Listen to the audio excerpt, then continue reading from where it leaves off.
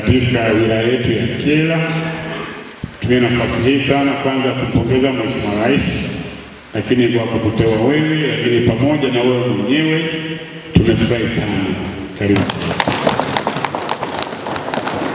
Sisi kwa niaba ya Mheshimiwa madiwani tukuombe, Kyela ni kwetu sote.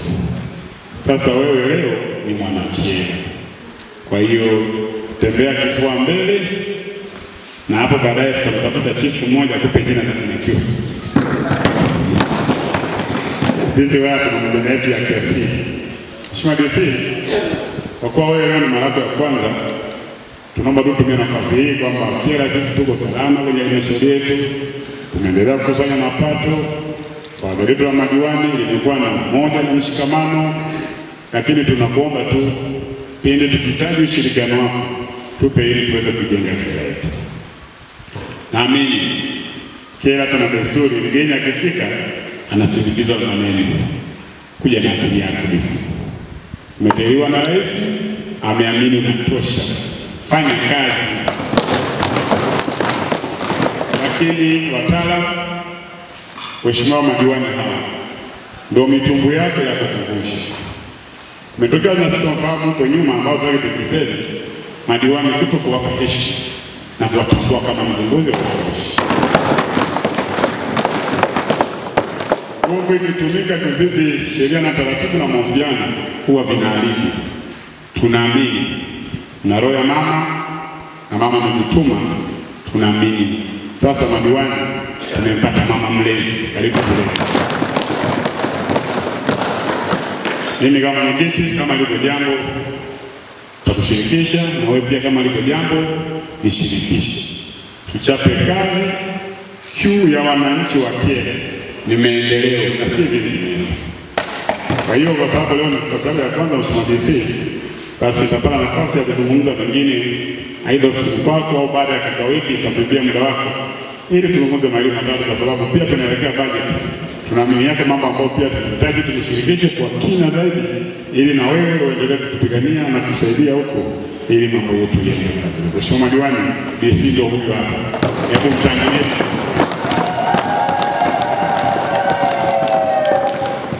Wachekeshe nisiwachekeshe.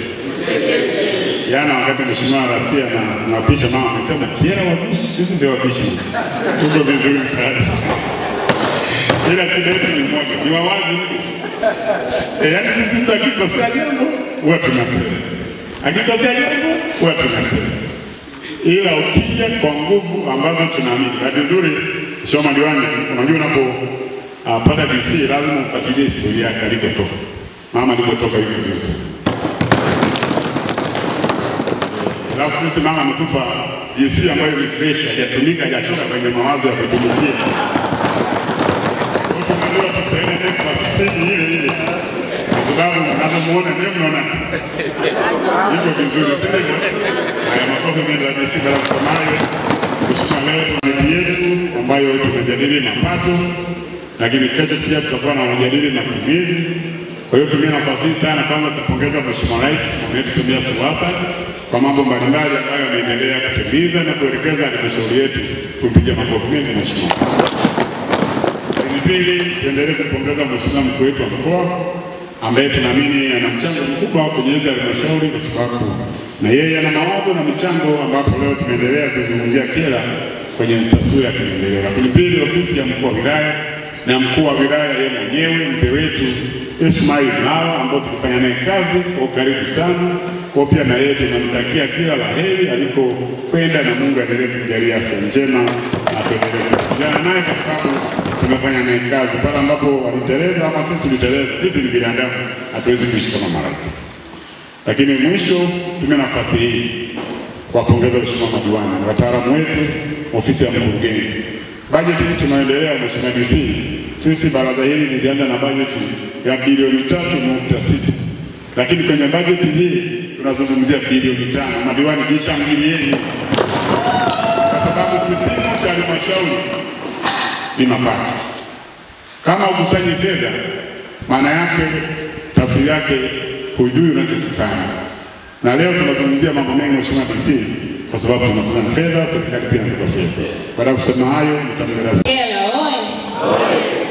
Kwanza kabisa namshukuru Mwenyezi Mungu kwa ajili ya siku ya leo, lakini pia nawashukuru sana sana sana wanakela kwa mapokezi mazuri tangia jana kwenye uapisho mpaka hata siku ya leo nimepokelewa hapo nje vizuri, na hata nyie madiwani naona mko vizuri. Nashukuru sana. Mwenyezi Mungu awabariki, na mimi nimeshakubali kuwa mimi ni mwanakyela. La pili ni mshukuru Mheshimiwa Rais wa Jamhuri ya Muungano wa Tanzania Mheshimiwa Samia Suluhu Hassan kwa kuniamini na kunituma nije katika wilaya hii ya Kyela kuliendeleza gurudumu. Sijaja kubadilisha kitu, bali nitaendeleza yale ambayo mwenzangu aliyemaliza muda wake alikuwa ameanza, lakini pia kwa ajili ya kufanya maendeleo mapya katika wilaya yetu. Tunapenda maendeleo na mimi napenda maendeleo na napenda Kyela iendelee kusonga mbele, isibaki pale pale. Na kikubwa zaidi, ninaomba ushirikiano wenu. Bila nyie, ina maana Kyela hatuwezi kufanya. Kwa ushirikiano wenu wa hali ya juu.